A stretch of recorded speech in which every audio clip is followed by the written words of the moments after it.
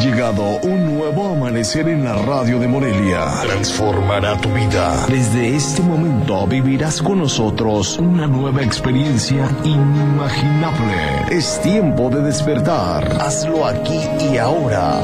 Es tiempo de despertar. Bienvenidos, Bienvenidos al, que cree. Todo le es posible. Comenzamos.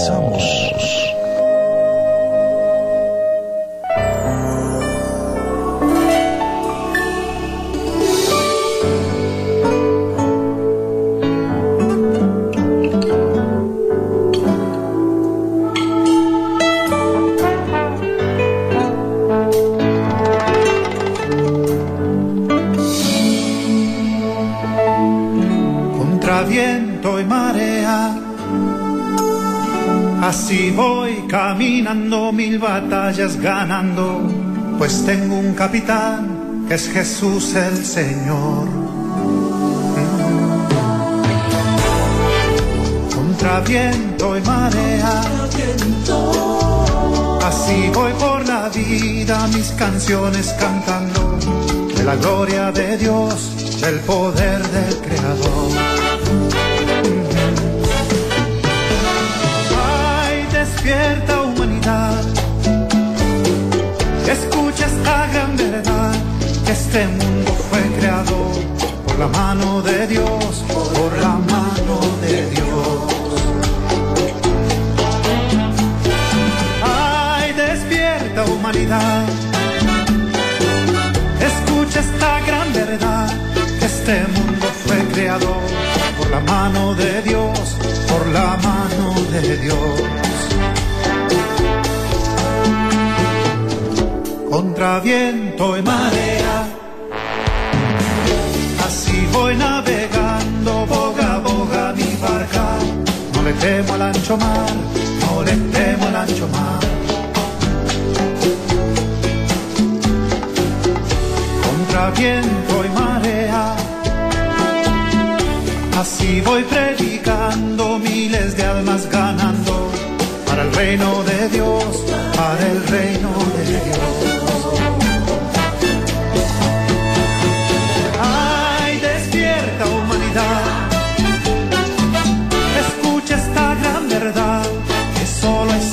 Salvación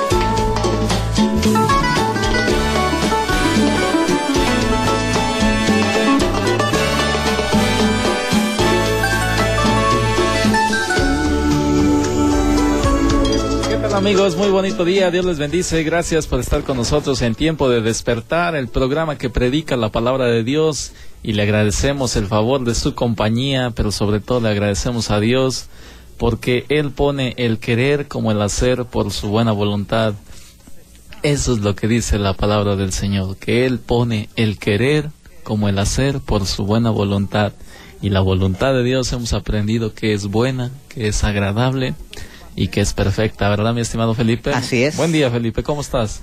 Pues muy contento, buenos días, ¿qué tal, amable Radio Escuchas que ya nos está escuchando en este momento? Le damos la más cordial bienvenida y qué bueno que está con nosotros. Le invitamos y deseamos con todo nuestro corazón que eh, nos acompañe en estos momentos. Vamos a compartir eh, una eh, escritura que nos, sé que nos va a traer bendición y pues le damos gracias a Dios pues, a usted que ya se despertó y que ya se levantó y que ya está a lo mejor por ir a a trabajar, por ir a la escuela. No sé, donde quiera que usted se encuentre, eh, le pedimos a Dios que le bendiga y que guarde su vida. Efesios 5:14 dice, despiértate tú que duermes y te alumbrará Cristo. y tenemos que despertarnos a un nuevo día, un nuevo amanecer aquí en esta, esta bella ciudad de Morelia, Michoacán, México, que es el lugar donde nos tocó vivir y donde el Señor ha tocado nuestro corazón y sigue hablando a nuestras vidas. En estos días postreros el Señor sigue hablando a su gente, a su pueblo, llamándolo para que tengamos en él vida y vida en abundancia, dice la palabra de Dios. Y es precisamente sobre este tema que hemos estado hablando el día de ayer y, el día de hoy hablaremos otro poquito más acerca de, de la vida, cómo disfrutar de la vida cuando eh, estamos rodeados de, de problemas, de cosas que salen de control, pero sabes, en el Señor Jesucristo eh, sí hay solución. Y nuestro Dios Todopoderoso tiene el control de todas las cosas. Y bueno, sabemos que Él es bueno y que para siempre es su misericordia. Dice la palabra de Dios que Él se deleita en misericordia. Porque eh, cuando nosotros le hemos fallado, le hemos eh, ofendido con nuestras acciones, con nuestros pensamientos, con nuestra incredulidad, cuando hemos ofendido al Señor, cuando hemos fallado, cuando hemos pecado contra Dios, eh, su misericordia nos alcanza. Y si estamos hoy aquí en este día, eh, pues ya es que, ¿qué día es hoy, mi estimado? Miércoles. Ya es miércoles 15. Media semana. Eh, y medio mes. También. Y, y sí, ya, ya estamos en miércoles. Y sabes, si hemos llegado hasta este miércoles ha sido gracias al favor y a la misericordia de Dios. Y es, es, es bueno saber que tenemos un Dios poderoso, un Dios bondadoso, un Dios amoroso, un Dios que nos ama con, con gran amor, un amor incomparable que nadie puede dar. Solamente Él lo pudo dar y lo, lo ha entregado a nosotros. Y pues hemos aprendido que, que Dios nos ha amado de tal manera, dice, dice ahí el Evangelio de San Juan, que de tal manera nos ha amado el Señor que dio a su único Hijo para que todo aquel que en Él cree no se pierda, mas tenga vida eterna. Dice, para que no se pierda, porque cuando no tenemos a Cristo Jesús en nuestro corazón, cuando no buscamos a Dios ni las cosas de Dios, sabes, andamos en tinieblas, andamos en oscuridad, andamos sin el manual de la vida. Pero cuando Cristo resplandece en nuestras vidas, entonces dice, van a saber quién soy, van a saber qué tan poderoso es este Dios que el Dios de Israel, el Dios de Abraham, de Isaac y de Jacob. Ese es el Dios en el que creemos y ese es el Dios en el que confiamos y tres personas en un solo Dios. Dice, tres son los que dan testimonio en el cielo, el Padre, el Verbo y el Espíritu Santo. Entonces, es, es, esto está ya en, en la primera carta de San Juan capítulo 5. Dice, tres son los que dan testimonio en el cielo, el Padre, el Verbo y el Espíritu Santo. Y cuando el Señor se fue, cuando el Señor partió de este mundo, dijo, os conviene que yo me vaya, porque cuando yo me vaya, enviaré al Espíritu Santo, y Él os enseñará todas las cosas que han de venir, porque no hablará por sí mismo, sino que dirá todo cuanto oirá. Y sabes, el Señor sigue hablando en nuestras vidas, el Espíritu Santo nos sigue convenciendo de pecado, de justicia y de juicio. Pero necesitamos anhelar la presencia del Espíritu Santo. Necesitamos meternos en la presencia de Dios y recibirle en nuestro corazón y decirle, Señor, yo anhelo tu Espíritu Santo. Envíalo, que abra Él mi entendimiento, que toque mi corazón, que quite todo esto que no te gusta de mí, porque yo quiero ser como tú eres. Y ser como Cristo es, no es cosa fácil. De hecho, pues nunca le vamos a llegar al Señor Jesucristo, pero vamos a buscar ser como Él, vamos a buscar ser más como Él cada día. Cada día que nos levantamos tenemos que buscar ser más como es nuestro Señor Jesucristo. Y pues aunque cuesta trabajo, aunque implica esfuerzo, aunque implica tiempo, hay que dedicar tiempo, Felipe. Sí. Tiempo a la oración, tiempo a la adoración, a la alabanza a estar en la presencia del Señor, donde Él se mueve, donde todas las cosas son posibles, donde está su Espíritu Santo, porque dice que donde está su Espíritu Santo, allí hay libertad. ¿Libertad para qué? Para adorar, para regocijarnos en la presencia del Señor, para buscar con todo nuestro corazón y para entregarle a Él todas tus cargas. Echa sobre el Señor tus cargas y Él te sustentará porque no dejará caído para siempre al justo. son las promesas de Dios realizadas en Cristo Jesús. Nosotros las podemos tomar en Cristo Jesús porque el Padre ha entregado todo al Hijo y es por medio del Hijo que nosotros podemos orar a Dios y decirle, Señor, mi necesidad es esta. ¿Cuál es tu necesidad en esta mañana? Tu necesidad, Cristo la puede suplir, sea cual sea, sea de un empleo, sea de, de tener paz, sea de tener fe, sea de tener salud, cualquier necesidad no importa, salir del alcoholismo, salir de la drogadicción, salir de esa amargura, de ese resentimiento, de esa falta de perdón, de todo lo que nos oprime, porque sabes, hay un opresor de nuestras vidas. Y el problema es que no nos damos cuenta, Felipe. Cuando no nos damos cuenta que tenemos una batalla, una lucha espiritual, pensamos que, que todo mundo está contra nosotros. Cuando dice el Señor, la lucha es espiritual. Pero como no nos damos cuenta que hay una lucha espiritual, entonces pensamos que todo mundo está en contra de nosotros. Y entonces, ¿a qué tenemos que hacer? Tenemos que escudriñar la palabra de Dios porque ahí vamos a, agarrar las armas que, que, necesitamos para salir victoriosos. La armadura de la fe. Ponernos toda esa coraza, toda esa armadura que el Señor ha dado, su espada de doble filo que es la palabra de Dios y con la espada pues se defiende el guerrero y nosotros no vamos a salir con machetes ni nada de esas cosas, ¿verdad? Sino que a manifestarnos como por ahí a veces suele suceder. Pero la verdad es que vamos a tomar la espada de doble filo que es la palabra de Dios y cuando el enemigo quiera a, quiera golpearnos, quiera lastimarnos, quiera destruir nuestros hogares, nuestras familias, nuestra ciudad, ¿sabes qué? Tenemos la palabra de Dios que nos, que nos defiende. Tenemos al Dios que nos defiende y usamos su palabra para, para seguir adelante, para tener fe. Porque a veces decimos, pues es que yo tengo muy poquita fe. Todos tenemos fe. El Señor ha puesto una medida de fe en cada corazón, pero dice que la fe viene por el oír y el oír la palabra de Dios. Si tú te expones a la palabra de Dios, vas a empezar a tener fe si tú te expones a la palabra de Dios, vas a poder tomar esas promesas que Dios te da para tu vida, para salir adelante. Que aún en, en aquella dificultad, no ves cómo, pero Dios, Dios prometió y Dios, y Dios cumplirá, Felipe.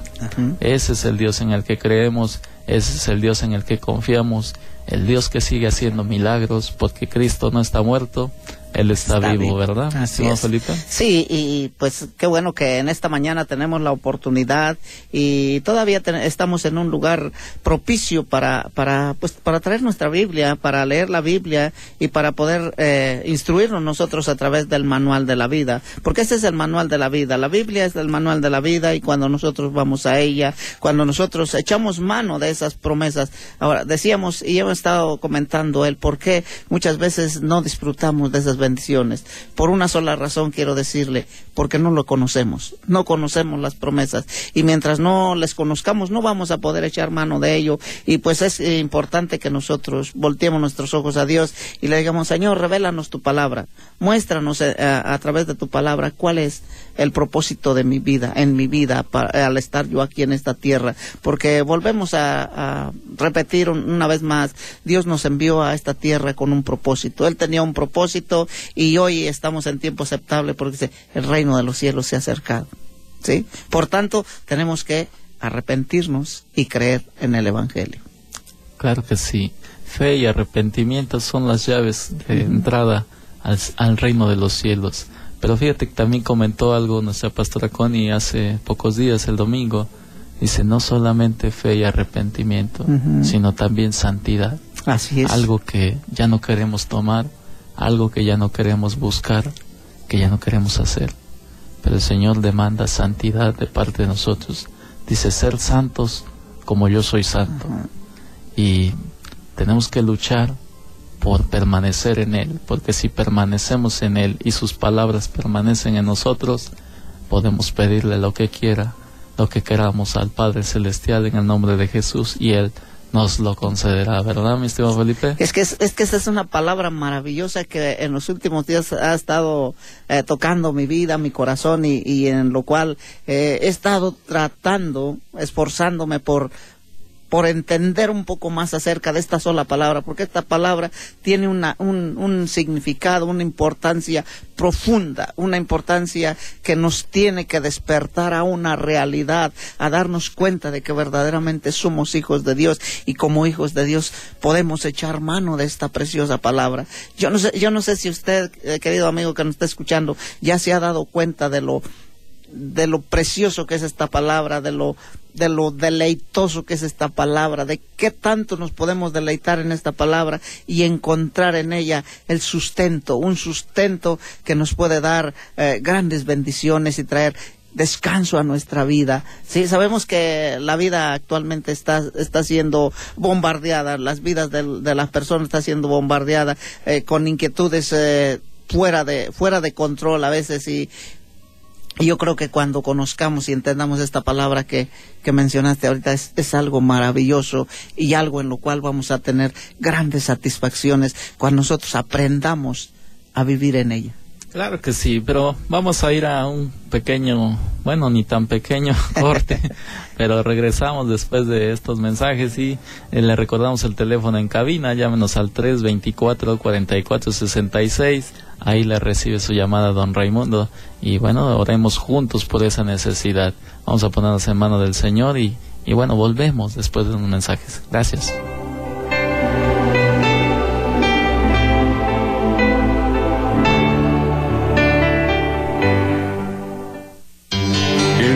Despertar es aquí y ahora. Es tiempo de despertar. Continuamos. Ya es tiempo de despertar. Hazlo con nosotros. Continuamos.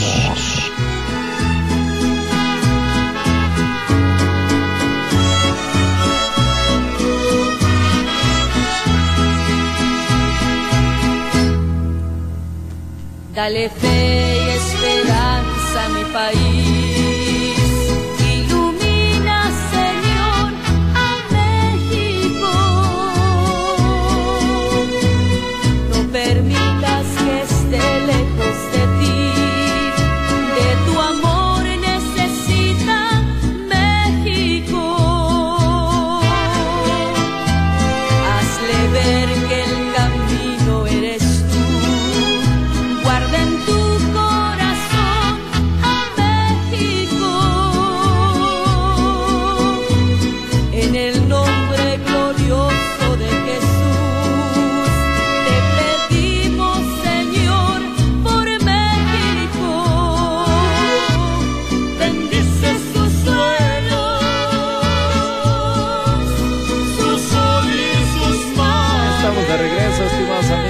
bendice, bonito día. Hoy miércoles la luna está sonriendo. Si usted ya se levantó y puede tener este privilegio de, de mirar al, a la hermosura que el Señor hizo.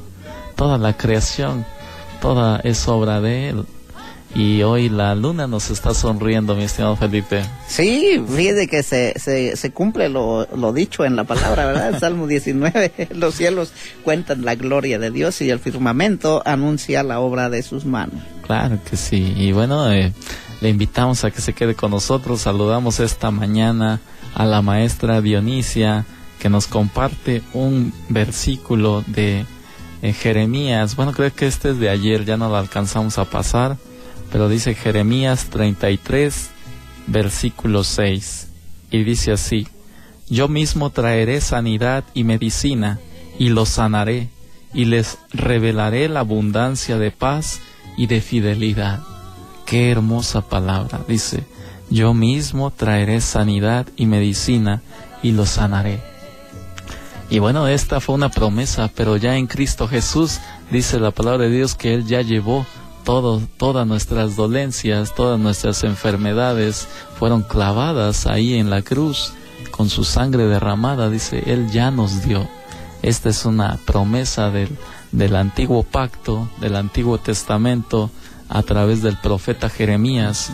Y dice, yo les traeré, pero sabes, vivimos en los días postreros donde Cristo Jesús ya fue a la cruz y ahora tenemos bendición y, y dice yo ya les di, ya les di bendición, no la van a recibir, no les llegará, la bendición ya está porque Cristo ya venció a la muerte, Felipe. Y, recordemos esta mañana que, que, el Antiguo Testamento son promesas. Después de Jesucristo o en Jesucristo ya son realidades. Son hechas realidades. Ya. Fíjate que aprendimos que el Antiguo Testamento es sombra de lo que había de suceder en el Nuevo Testamento. Eran las promesas y ahora ya tenemos la herencia. Así es. había una promesa de, de que llegaría de que llegaría la bendición, pero sabes, ahora vivimos en los días de la bendición por medio de nuestro Señor Jesucristo. Todo apunta hacia ahí. Todo lo que necesitamos está dado ya por medio de nuestro Señor Jesucristo. Solamente necesitamos fe, arrepentimiento y buscar, anhelar la santidad. Dice la escritura, no sabéis que vuestros cuerpos son templo del Espíritu Santo que mora en vosotros. Si hemos recibido al Señor Jesucristo, su Espíritu Santo está en nosotros. Y dice, no sabéis que vuestro cuerpo es templo del Espíritu Santo. Entonces, tenemos que buscar la santidad, Felipe. Así, definitivamente, y no olvidemos que eh, la palabra de Dios nos dice, dice que el tiempo se ha cumplido. Sí, el tiempo, el tiempo, perdón, el tiempo de aquellas promesas se ha cumplido, pero ahora el reino de los cielos se ha acercado. Así es que tenemos que hacer y tenemos que volver nuevamente a esto, a decir esto. Eh, cuando el reino de los cielos se acerca, tenemos que arrepentirnos, tenemos que creer y tenemos que vivir en santidad. Y tenemos que escudriñar las escrituras. Es el versículo que hemos estado eh, eh, mirando. Escudriñar las escrituras porque a vosotros os parece que en ellas tenéis la vida eterna, y ellas son las que dan testimonio de mí, dice el Señor Jesucristo. ¿Y cómo, cómo qué es escudriñar? Tenemos que buscar, dice, busquen en, las, escrituras, examinen lo que hay escrito ahí en mi palabra. ¿Recuerdas cómo los, los arqueólogos y bueno, toda esta gente que se dedica a los vestigios culturales prehispánicos, etcétera, etcétera, cómo van buscando, cómo van escudriñando, van eh, buscando ese, ese, ¿cómo le llaman? Pues ese hallazgo arqueológico. Y van destapando primero una parte y traen unos instrumentos muy delicados, muy finitos, para no dañar las piezas y para ir abriendo paso, abriendo camino y cuando ya encuentran algo que se ve como un piecito, dicen, ah, posiblemente sea esto. O si encuentran una cabeza de leopardo, dicen, ah, bueno, pues eh, era un jaguar. bueno, leopardo, jaguar o lo que sea, Pero van, van escudriñando poco a poco, van rascando, van buscando, van abriendo camino y van encontrando las piezas. Y lo mismo nos sucede con la palabra de Dios, Felipe. Cuando nosotros empezamos a buscarle, empezamos poco a poquito. Y el Señor nos va diciendo, ahora dale por aquí, y ahora darle por allá, y ve limpiando esto. ¿Por qué? Porque ahí vamos a encontrar el tesoro, el tesoro de la vida. Dice la Biblia que el que, el que le haya le encuentra. Eso fue lo que dijo el Señor Jesucristo, que el que le haya le encuentra. Y Él vino a buscar y a salvar lo que se había perdido. Este es el tiempo de escudriñar las escrituras, este es el tiempo de buscar a Dios, de encontrar la vida eterna. Y veíamos el día de ayer cómo estos hombres de Berea, eh, Berea, esta población que estaba ahí cerca de Tesalónica, toda esta región de Filipos, allá en Europa, en el, en el norte de Grecia, eh, esta, estas, estas gentes no se quedaban con lo que les decían. Y yo, nosotros les, le invitamos a que no se quede con lo que nosotros le decimos o, compartimos aquí en este programa.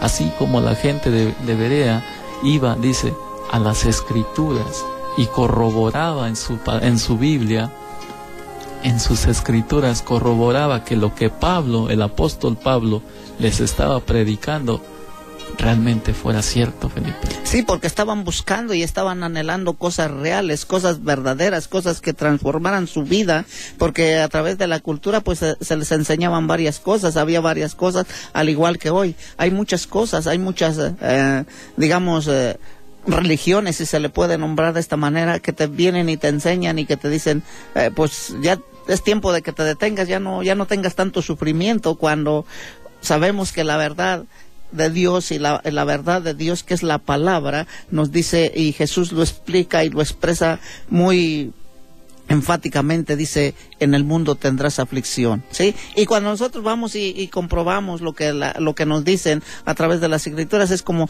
nosotros vamos quitando la venda de nuestros ojos. Y al quitar la venda de nuestros ojos, entonces nosotros vamos a poder ver las realidades de la vida, saber y darnos cuenta que así como Jesús dijo, tendrás aflicción, bueno, pues sí, habrá aflicción, pero no, ¿por qué no nos dan la segunda parte? Confiar yo he vencido al mundo. Pero ¿en quién vamos a confiar si no le conocemos? Tenemos que conocer a Jesús, tenemos que conocer a ese amigo que se llama Jesucristo y que vino y dio su vida por nosotros. Entonces cuando nosotros reconocemos esto, entendemos esto, querido amigo, nuestra vida va a cambiar, va a ser transformada pero no por nosotros, sino por el Espíritu Santo a través del conocimiento de las palabras, de la palabra. Así es, y fíjate Felipe, cuando no conocemos la palabra de Dios, cuando no la escudriñamos, nos perdemos de toda la bendición que Dios mm. tiene. Y, y aún el que anda en maldad, en, malos caminos, en, en, no querer buscar del amor de Dios, sabe, se pierde porque eh, no, no, no escudriña, no busca, no, no encuentra que, que Cristo es el Señor. No encuentra que tenemos un Dios bueno, un Dios que perdona los pecados. No importa cuál sea tu pecado, pero si tú te, arrepientes y crees en el Hijo de Dios, el Señor te perdona todos tus pecados. Dice el Salmo 119, eh, versículo 155, que lejos está de los impíos la salvación, porque no escudriñan sus estatutos. Entonces, ahí está la bendición, ahí está la vida, pero dice que nos perdemos de esta salvación. Eh, el impío se pierde de la salvación es decir, aquel que no quiere seguir al Señor, que no, no busca del Señor, que aun sabiendo que hay un Dios poderoso, no le busca y no le quiere conocer. Dice, y se pierde de la salvación porque no escudriñan los estatutos de Dios. Hay que, hay que leer, hay que pedirle al Espíritu Santo que nos revele la palabra del Señor y que, no, que abra nuestro entendimiento, como aquella mujer Lidia que eh, el Señor preparó su entendimiento para que pudiera recibir la palabra que el apóstol Pablo llevaba, la palabra de Cristo. Pablo y Silas se encontraban predicando el Evangelio y esta mujer estaba ahí, Lidia, dice, la, de, la que tenía que telas de púrpura, telas de púrpura, era su trabajo. Y dice que el Señor le abrió su entendimiento para que pudiera recibir la palabra de Dios.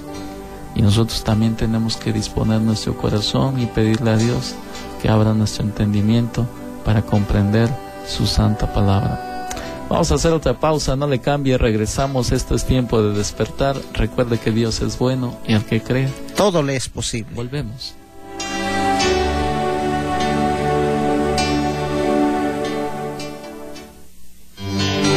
Despertar es aquí y ahora. Es tiempo de despertar. Continuamos. Estás triste, tienes problemas, tu situación es difícil, ha perdido sentido tu vida. Recuerda, no estás solo. Cristo es la solución ante cualquier situación. Ven a Fuente de Vida, Centro Familiar Cristiano. Nos reunimos jueves y domingos a las 6 de la tarde en el Hotel Diana del Bosque, junto a la Facultad de Medicina. Te esperamos. Lleva mi alma de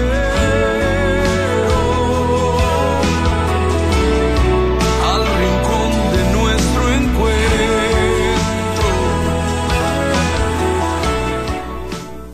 Es tiempo de despertar.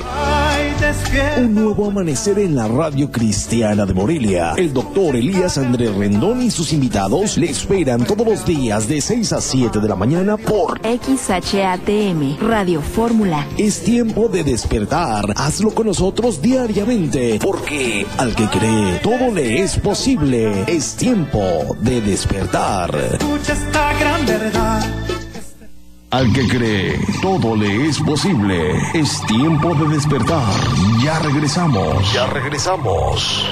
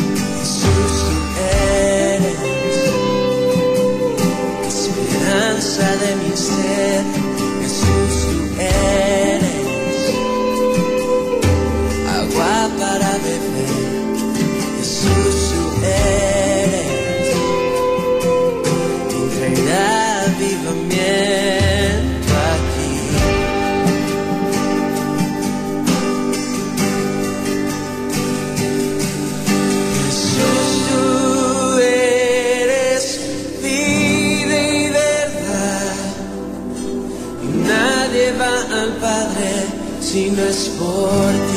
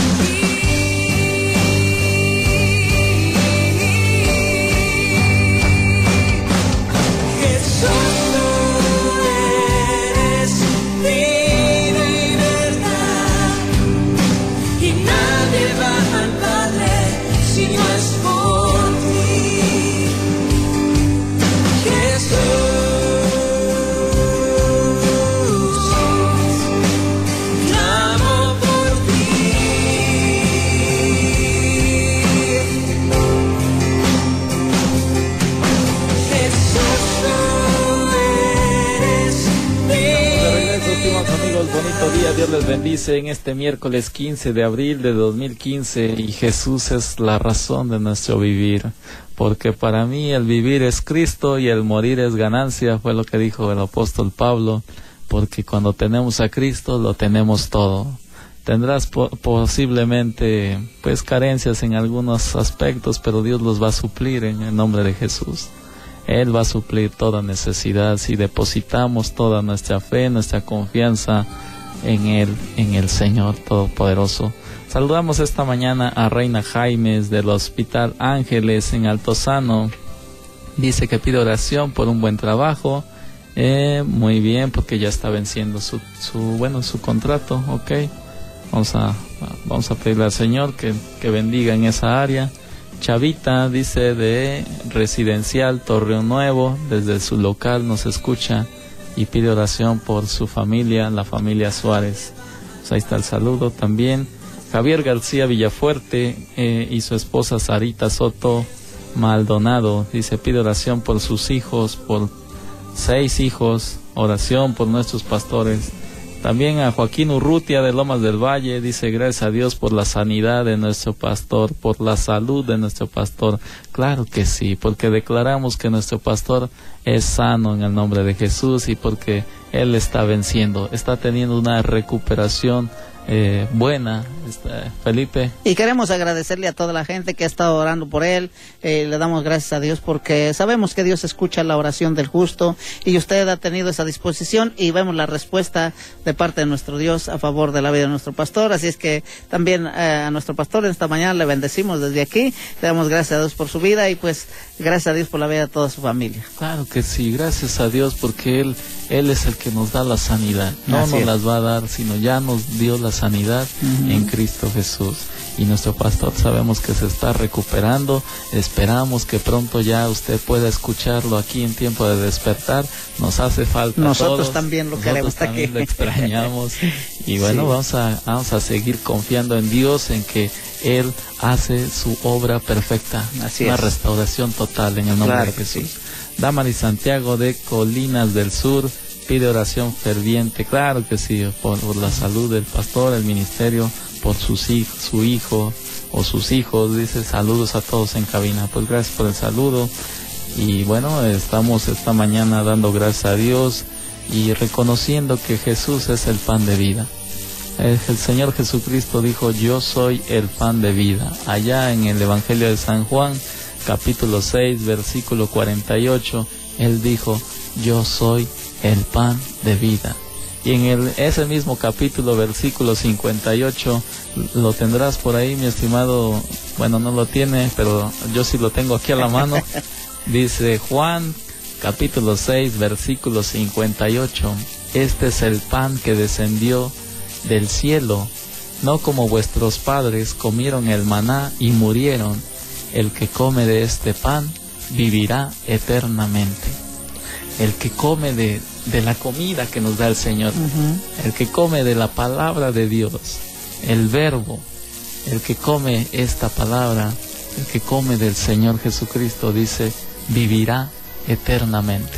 ¿Por qué? Porque ha creído en el unigénito Hijo de Dios, que vino al mundo para perdonar nuestros pecados, para darnos una nueva oportunidad de entablar esa relación personal con nuestro Dios poderoso, con el Padre Celestial y en la llenura del Espíritu Santo. Ese es el Dios grande que en su gran amor entregó a Jesucristo, estimado, y, eh, y muchos hemos hecho esta reflexión. Si a nosotros como padres nos pidieran que entregáramos a uno de nuestros hijos para salvar a gente que ni conocemos, eh, estaríamos dispuestos a hacerlo.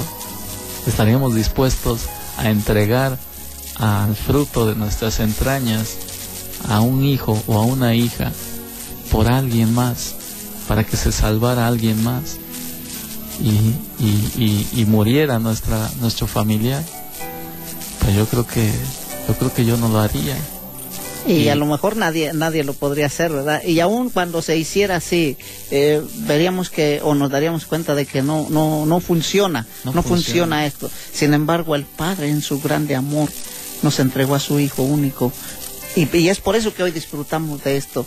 Eh, mencionas algo algo maravilloso, Freddy, es cuando Dios ofreció nos dio a Jesucristo, dijo yo soy el pan del cielo, ¿verdad? ¿sí? Y, y fíjese que si, si regresamos un poquito por, a- a- al Antiguo Testamento, nos damos cuenta en Deuteronomio 8.3, también nos dice que, a- nos, o que los afligió al pueblo de Israel, ¿verdad? Pero ¿para qué? Hoy nos damos cuenta para qué vienen las aflicciones o por qué. Y, y nos damos cuenta que las aflicciones son necesarias en esta vida, ¿sí? Por- porque allá en Deuteronomio nos dice, y te afligió y te hizo tener hambre, ¿sí? Y, y habla una serie de cosas y al final dice, para hacerte entender, para hacerte saber que no solo de pan vivirá el hombre, sino de toda palabra que sale de la boca de Dios vivirá el hombre. Y ahorita estamos hablando espiritualmente, eh, Dios nos sustenta, Dios nos, nos, nos da, ¿sí? ¿Y, ¿Y qué nos da? Pues nos da su palabra. Ya nos dio a su Hijo, pero hoy nos da su palabra para que nosotros eh, seamos sustentados por el poder de la palabra, seamos sustentados a través de, del, del conocimiento de lo que estamos hablando, el conocimiento de la palabra de Dios. Y fíjese que también Isaías 48 dice, eh, sécase la hierba, marchítase la flor, mas la palabra de nuestro Dios permanece para siempre. La palabra de Dios no caduca. La palabra de Dios es efectiva, la palabra de Dios es viva, ¿sí? Viva y eficaz. ¿Y cuál es la eficacia de la palabra? ¿Dónde encontramos la eficacia de la palabra? Y la eficacia de la palabra la encontramos cuando nosotros empezamos a probar, ¿sí? Y, la palabra de Dios nos dice en el libro de los Salmos, deleítate a sí mismo en el Señor y Él te concederá las peticiones de tu corazón. Entonces, ¿Qué es deleitarnos? ¿Cómo entendemos deleitarnos? Es cuando saboreamos, cuando disfrutamos, cuando nos llenamos, cuando le damos lugar a esa, a esa plenitud gloriosa de la palabra. ¿Y sabe qué? Necesitamos algo. Necesitamos la revelación de la que hablábamos hace unos momentos, ¿no? Porque yo no sé cuántas veces usted ha leído la Biblia, pero si no hay revelación, nos, nos, aburrimos, nos da sueño. Sin revelación no hay restauración. Así es. Cuando no tenemos la revelación de, de, todas las promesas de Dios, de toda la bendición que Dios tiene para nosotros, cuando no nos entra en nuestra cabecita, o a veces aunque llega a la cabecita, pero no lo bajamos al Ajá, corazón, ajá. no lo, no lo recibimos en nuestra, en nuestra alma, pues entonces no podemos ser restaurados. Pero Así si es. nosotros comprendemos que Dios quiere lo mejor, que Dios tiene lo mejor, lo que tú estás buscando, lo que tú necesitas, lo tiene el Señor. Así es. Si tú lo crees y tú lo anhelas y tú le pides y tú le buscas, el que le haya, haya la vida, dice la Biblia. Entonces, eh, si nosotros creemos eso, entonces vamos a poder ser levantados, vamos a poder ser transformados, vamos a poder ser restaurados. Sin revelación no hay No hay restauración. Pero cuando sí comprendemos que Dios nos ama, que es poderoso, que como dice Lucas 1.37, que para Él no hay nada imposible y que al que cree todo, Todo le es es posible. posible. Cuando eso llega, esa revelación llega a nuestras vidas, entonces empieza la renovación. La renovación del entendimiento de la cual nos habla Romanos 12.2, que tenemos que renovarnos Ajá. en el entendimiento, en la mente, en nuestro pensamiento. ¿Para qué? Para poder ver la gloria de Dios, sus grandes maravillas, su favor hacia nosotros. Y el justo clamará y Dios le escuchará, porque Él no miente ni tampoco se arrepiente. Vamos a hacer otra pausa, estimados amigos. Gracias por acompañarnos. Dios les bendice. Que no se le haga tarde porque ya son las 6 con 46 y pues volvemos para el último, el último evento. Gracias.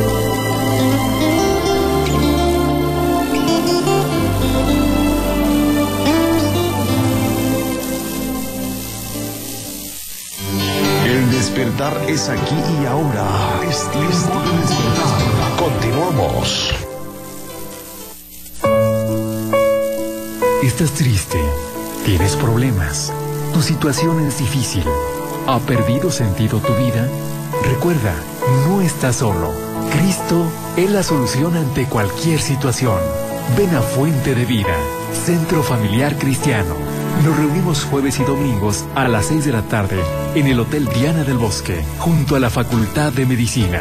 Te esperamos. Lleva mi alma de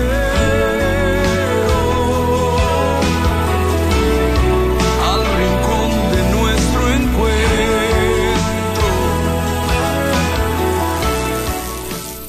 Es tiempo de despertar. Un nuevo amanecer en la radio cristiana de Morelia. El doctor Elías Andrés Rendón y sus invitados le esperan todos los días de 6 a 7 de la mañana por XHATM, Radio Fórmula. Es tiempo de despertar. Hazlo con nosotros diariamente, porque al que cree todo le es posible. Es tiempo de despertar. Escucha esta gran verdad.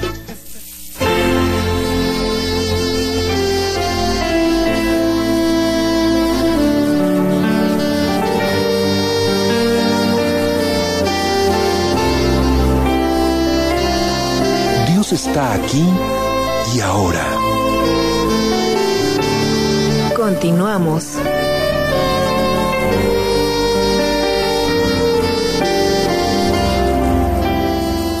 Fuente de vida. Sabemos que un día te veremos, Jesús.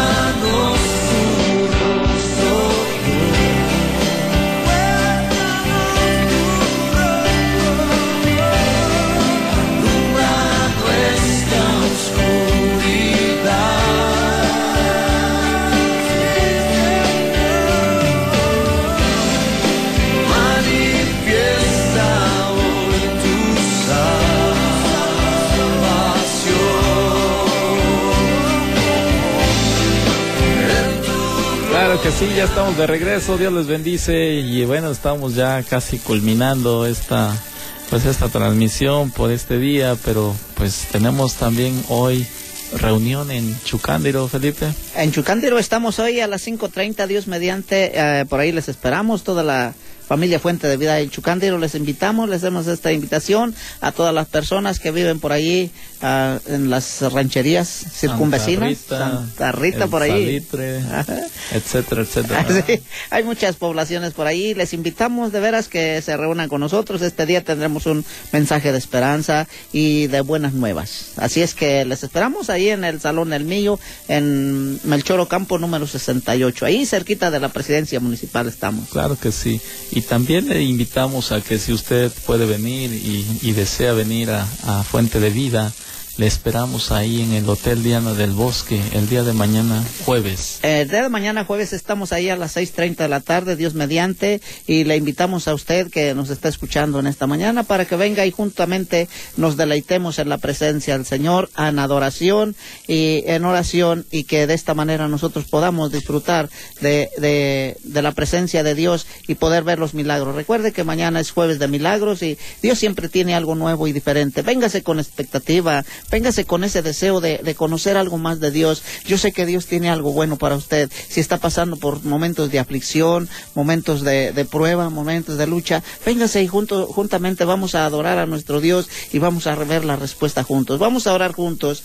Ya ve que dice la palabra de, de Dios que donde dos o tres se reúnen en su nombre, eh, está allí en medio de ellos. Y sabemos que Dios no solamente está ahí, sino está en medio de nuestro corazón, pero es necesario que nosotros no dejemos de congregarnos como algunos tienen por costumbre, ¿sí? Sino que nos exhortemos y tanto más cuando vemos que aquel día se acerca. ¿Cuál día? El día del Señor. Así es que mañana ahí les esperamos. Estamos frente al bosque Cuauhtémoc, a un costado de la Facultad de Medicina, en el cuarto piso del Hotel Diana del Bosque. Y no se desanime, porque el desánimo es una de las armas que utiliza el enemigo para sacarnos de la jugada, para sacarnos del camino del Señor. Cuando tú estás confiando en Él y de repente empieza a caer tu ánimo, te empiezas a desanimar, entonces es presa fácil del, del enemigo, de los dardos envenenados que Él lanza a nuestro pensamiento y te dice, pero mira si has ido y, y, y no has visto nada todavía. Pero ¿qué dice Hebreos 11.1?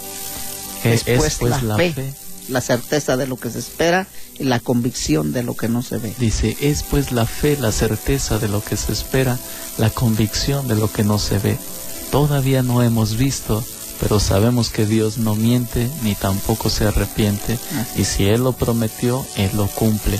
Solamente que pacientemente debemos esperar al Señor y Él se inclinará hacia nosotros y oirá nuestro clamor y nos levantará, sanará nuestra tierra. Pero necesitamos mostrar humildad, humillaos bajo la poderosa mano del Señor para que Él os exalte a su debido tiempo. Uh -huh. Y es en el tiempo de Dios. A veces queremos que sea en nuestro tiempo. Pero sabes, si Dios ha permitido que sigas en esa situación, eh, pues la verdad es porque hay un propósito. Y el propósito es que maduremos, que, que nos fortalezcamos, que aprendamos a tener paciencia, que aprendamos a depender de Dios cada día más y que veamos que, que no es en nuestras fuerzas, sino que en nuestra debilidad el poder de Dios se manifiesta. Se manifiesta. ¿Eh? Entonces, si nosotros comprendemos esto, que Dios tiene sus tiempos y que este es el tiempo, Dios ya está derramando su bendición y, y nos sigue bendiciendo, pero sabes, esto no es para destruirte, sino para levantarte en el nombre de Jesús. Bueno, de, terminamos, se nos, nos comió el tiempo, pero nos escuchamos mañana, primeramente Dios, de 6 a 7. Y le bendecimos, le saludamos y nos despedimos. Bendiciones para todos y disfrute este día, porque este es el mejor día de su vida. Claro que sí, Dios es bueno y al que cree todo es posible. Le escuchamos, le bendecimos y bueno, gracias a Dios por este tiempo. Hasta mañana.